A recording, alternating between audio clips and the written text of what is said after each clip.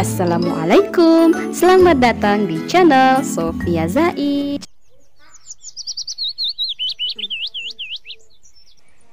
Kembali kali ini saya akan membuat video seputar tanaman hias tentunya.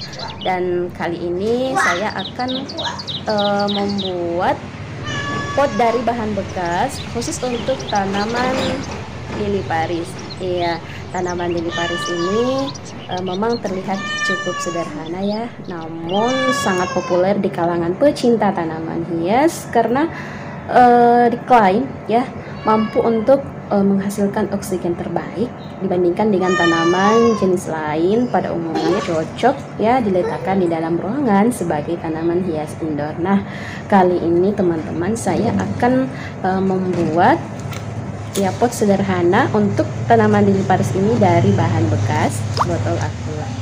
Yuk langsung aja kita masuk ke step berikutnya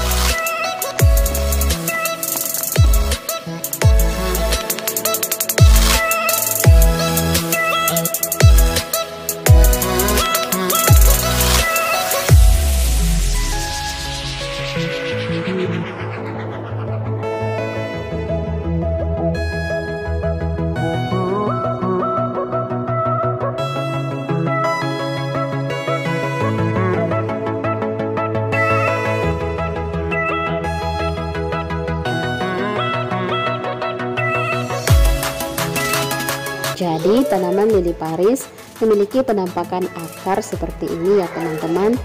Memiliki umbi akar sehingga tanaman ini terkenal sebagai tanaman yang tidak rewel cukup tahan lama bahkan bisa bertahan hingga bertahun-tahun.